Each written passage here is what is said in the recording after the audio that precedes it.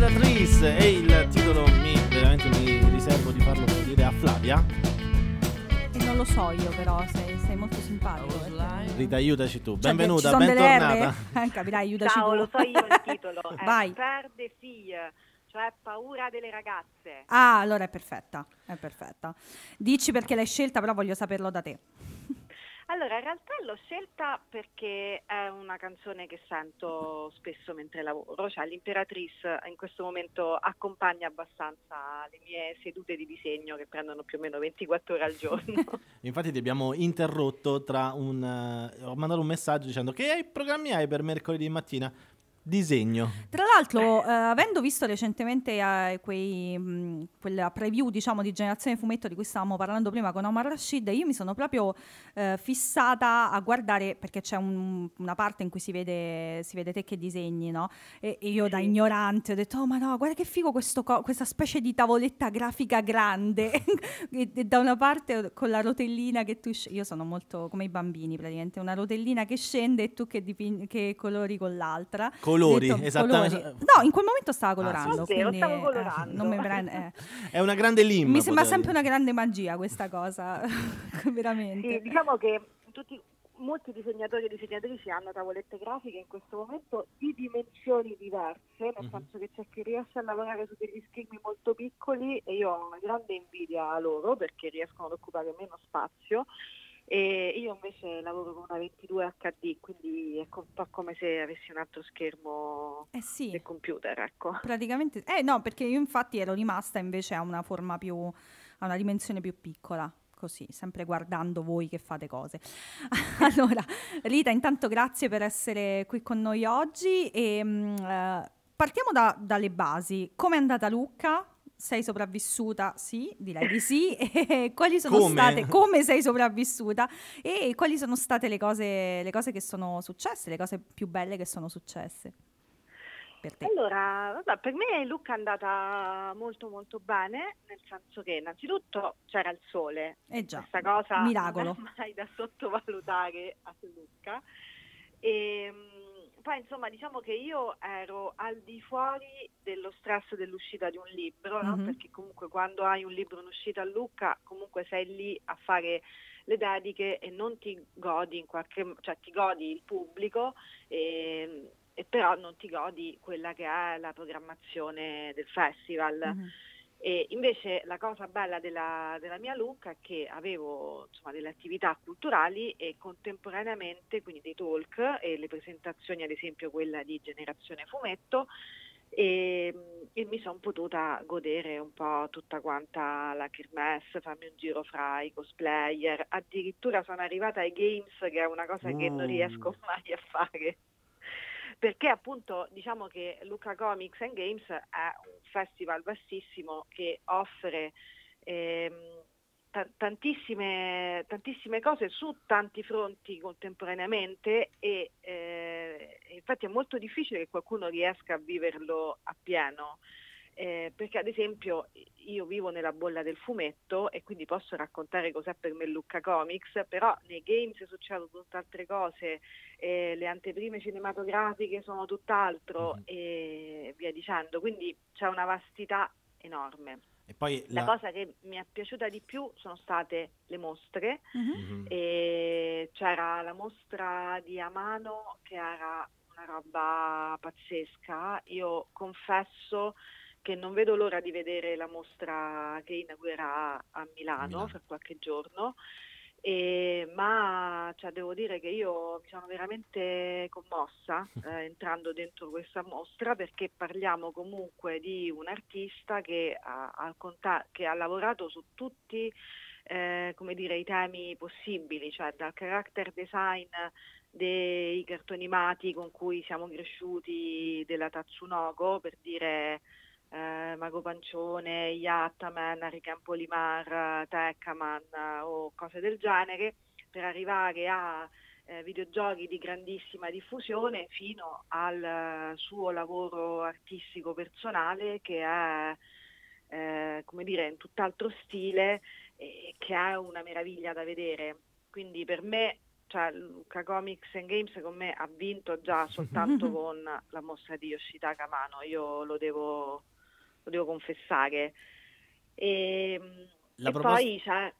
Prego, dimmi. No, no, no, la proposta di, di Luca Comics per una persona che proprio l'ha sentita soltanto nominare e ultimamente il- anche il TG1 si è accorto di Luca Comics and Game. e Vabbè, cito- un po', dai. Sì, ma appunto lo cito come mh, step ulteriore. Dopo di questo c'è proprio il mainstream, ma mh, non c'è proprio il- la dimensione. Una città, non è neanche Certo. troppo una cittadina che viene, ehm, si anima di e ospita integralmente, appunto, c'era addirittura una gioielleria che vendeva dei, mh, dei fumetti gradati di grande valore a- al posto del- dei collier e dei, Mm. eh, del- del- dei gioielli, ma appunto tutta la dimensione di tutta la città eh, si ribalta e diventa eh, scenario e anche custodia di questo mondo che si comprime dentro le mura e, e uso questi termini anche piuttosto figurativi proprio per rendere la, eh, anche la sensazione di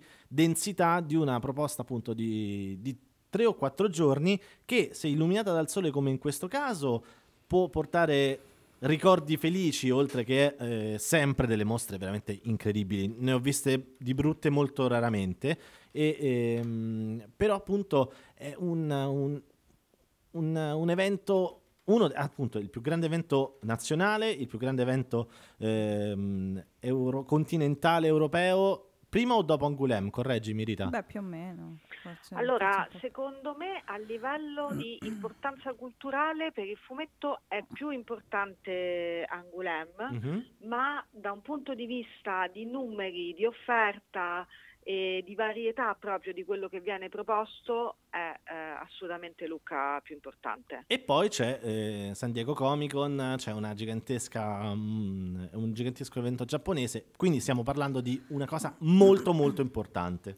Andiamo un po' più nello specifico rispetto al, al panel eh, sulla, sulla Toscana delle donne e in generale, insomma, su un argomento che eh, ci tocca spesso quando sei, quando sei qui con noi, ovvero le donne nel fumetto. Ci tocca spesso in generale, Sì, però sì, insomma noi eh, ci piace parlarne con te, ecco, fra le altre. E, mh, com'è andato? E a che punto siamo di questo discorso? Sono venute fuori cose nuove? Dacci un po' il polso della situazione. allora, sì. Allora, la Toscana delle Donne è una rassegna che viene organizzata dalla Regione Toscana Mhm. che è dedicata alla sensibilizzazione contro la violenza eh, sulle donne ed è eh, una, una iniziativa che esiste già da diversi anni. Eh, da quest'anno eh, la Toscana delle Donne eh, coinvolge anche il fumetto Mhm. e lo fa eh, coinvolgendo tre autrici di cui ho il piacere di essere eh, una Mhm. e le altre due sono eh, Margherita Tramutoli in arte La Tram e Alice Milani Mhm.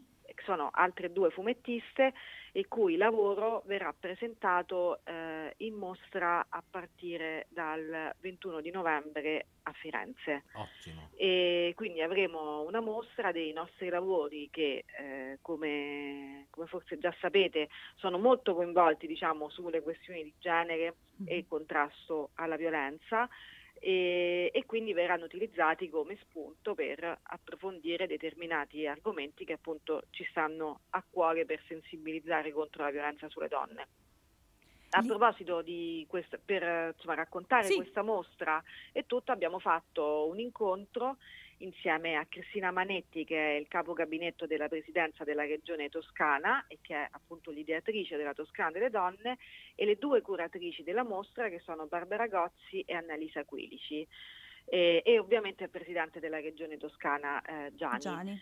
È stato un incontro da un lato istituzionale perché chiaramente stiamo facendo insomma, una cosa istituzionale ed è importantissimo che le istituzioni eh, si interessino di questo e facciano quanto più possibile per cambiare la nostra cultura e poi cambiare anche come dire, la pratica.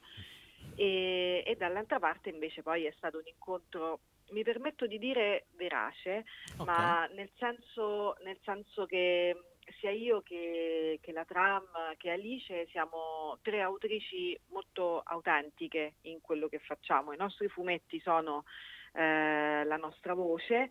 E siamo molto consapevoli che viviamo in un momento importante ehm, per le fumettiste e dico importante perché cominciamo ad essere veramente tantissimo e ehm, siamo in un momento storico del fumetto in cui le nuove generazioni stanno crescendo leggendo voci femminili, che è una cosa che non succedeva prima. Vero. E se le voci sono importanti tutte quante, è vero che esiste eh, una parte del racconto che è fortemente condizionata dal fatto che sono sempre stati gli uomini a, a raccontare le storie. Mm-hmm. Facevamo un esempio molto chiaro sia io che Alice Milani nell'incontro sul fatto che ad esempio in uno degli episodi di Case Rosse, eh, che fumetto mio di Susanna Mattiangeli mm-hmm. che usciva su Internazionale Kids, a uno dei personaggi vengono le mestruazioni per la prima volta e, e, questa cosa è stata molto importante per tantissimi genitori che mi hanno scritto e mi hanno detto grazie, mi hai dato lo spunto per eh,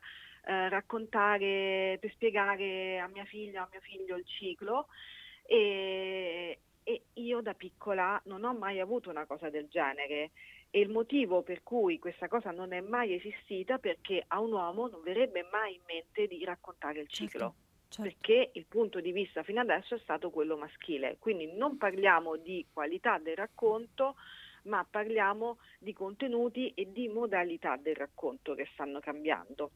Stessa cosa per il parto raccontato eh, da Alice Milani e, e questo fa la differenza. Può non sembrare, ma la fa tantissimo.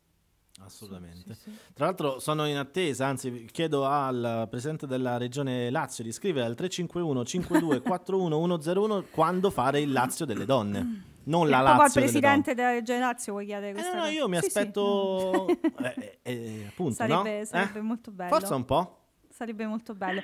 Come diceva giustamente anche Rita, eh, questo è il momento di eh, anche prendere posizione rispetto a queste eh, vicende, no? a, a qualsiasi cosa, insomma. E forse da, da questo momento in poi lo sarà ancora di più.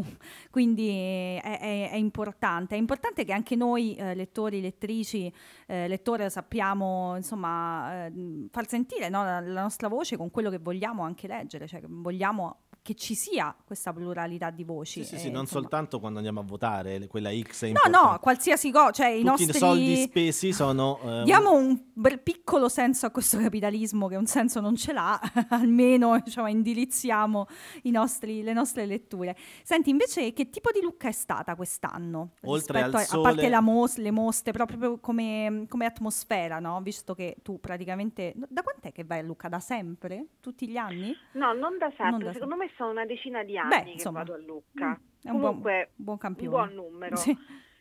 Ehm, guarda, Lucca è stata da un lato mm, molto bella, dall'altro eh, credo che abbia registrato meno presenze rispetto a- Al agli scorsi anni. Mhm. Eh, quindi le presenze sono un po' calate, secondo me eh, disincentivate da, molto dal fatto che eh, diciamo che ehm, Lucca è diventata una città un po' invivibile, eh, cioè più che invivibile, inapprocciabile dal punto di vista dei prezzi. A proposito di capitalismo. le case Eh, in affitto veramente. aumentano del 160% durante Lucca Comics and Games, quindi cioè, se vuoi andare ai Caraibi o se vuoi fare 5 giorni a Lucca più o meno ti costa Siamo la là, stessa eh. cifra, quindi forse i Caraibi potrebbero essere una, una scelta Sì. dove il sole è più garantito, non lo so. E, quindi diciamo che questa cosa secondo me in parte disincentiv- ha disincentivato il pubblico. E, il, ehm, diciamo anche la gestione interna del, diciamo, del gestire i flussi di persone ehm, so che ha dato qualche disagio agli editori che non li ho visti eh, felici e scoppiettanti come, come gli altri anni, se proprio devo Ok. essere se, de- se proprio devo certo. essere onesta, quindi Certo. sicuramente secondo me ci sono tante cose su cui ragionare e, e da cambiare ehm, per far funzionare quella macchina difficile che è il sistema editoriale proprio. E, mm. e Luca è la fiera più importante dal punto di vista fumetto, del fumetto e quindi secondo me sarebbe bene che eh, si creasse un dialogo per, dire, per, per andarsi incontro. Certo. E questa devo dire è la nota negativa che io ho visto sul festival. Per il resto io ho visto un sacco, uscire un sacco di libri bellissimi, ho visto, ho visto premiati dei libri che mi stanno molto a cuore e io sono felicissima che abbia vinto un premio Calina Muova, mm-hmm. ad esempio. Mm-hmm eh, che è eh, una, un'autrice fantastica e che ha fatto un libro con Rulz che si chiama Odio l'estate, che, che secondo me è, è un libro tenero, graffiante, intimo e allo stesso tempo che ci racconta tante cose sulla gestione della malattia a livello politico che, insomma, che per me è un libro importante e sono contenta che abbia vinto, ma così come sono contenta che sia stato dato un premio a, a Dax di Kate Beaton, perché appunto sulle questioni di genere, ma anche sulle direzioni in cui sta andando il mondo, è un libro che racconta delle cose importanti. Eh, ma ancora di più sono contenta che sia stata data una menzione speciale a Mazen al-Khatib, io spero di aver pronunciato bene il suo nome, che è questa fumettista illustratrice palestinese che è, che è mancata qualche giorno fa.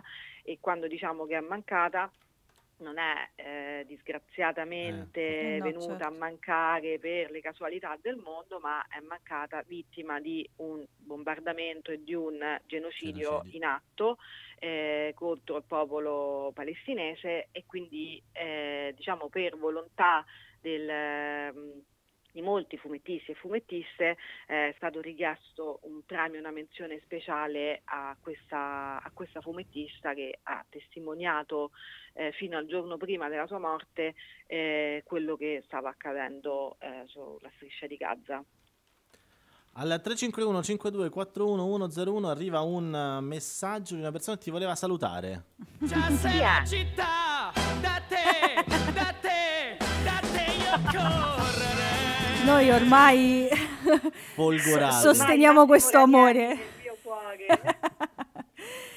Grazie mille Grazie davvero. Rita Pelluccioli. E tra l'altro oggi è una puntata così in cui un ospite saluta l'altro. Omar Rashid mi ha detto salutami Rita. E non so se tu vuoi salutare il prossimo ospite che sarà Liano Ercolani ormai è diventata ah, beh, co- come si fa una specie di trattoria sta, sta trasmissione. No, vediamoci a cena. tra l'altro complimenti per il bellissimo, bellissimo. poster che hai realizzato per l'Euro Balkan Film Festival perché io ho avuto difficoltà ad avere concentrata la vista guidando perché ogni tanto l'ho incrociato per strada e ho fatto oh, ma, ma quello è Rita e, e ho dovuto ah. inchiodare quindi sì, bellissimo. io non li ho ancora visti ci sono ci sono. Ci sono Dimmi sì, dov'era. sì, eh beh i piani alti della, della capitale d'Italia soltanto servono okay, soltanto zona, Lungotevere quelle cose ah, lì. quando vado dal medico le vedo queste okay. cose. Tra l'altro ho, ho, fatto un pensiero simile sempre guardando Generazione Fumetto mi sono detto oh ma guarda quando c'erano le riprese ovviamente del tuo ambiente di lavoro mi sono detto vedi eh, Rita praticamente alle pareti abbiamo le stesse pareti no, perché noi abbiamo noi le cose abbiamo tue alle pareti. alle pareti e tu giustamente hai anche le cose tue alle pareti e quindi abbiamo un ambiente simile in cui, in cui Secondo lavorare. me per ribilanciare Flavia mi devi fare un disegno, io me lo Beh, certo, guarda, sicur- se è una cosa, magari lo faccio fare no, alla no, no. novenne, che secondo me viene meglio rispetto a... Ah, certo. perché Sicuramente... va bene tutto, anche un'opera collettiva. Molto bene. Allora pure quella di due anni piccola che ieri è tornata con le mani arancioni, credo che potrebbe essere una... una Chiudiamo l'osteria, ma soprattutto evitiamo che il, il sottoscritto eh, prenda le... No, tu no. Io tu, no, io no, meglio di no, meglio di no. Grazie mille a Rita Peruccioli. La tua seconda scelta? Sono i Blur. Ok. Boy, uh, girls and Boys. il concerto a Lucca. Eh, sì. Eravamo quindi contemporaneamente nello stesso posto, ma non uno accanto all'altro. Pensa un po'. Beh, che anche lì era bello era pressato eh, come, come, quantità di gente.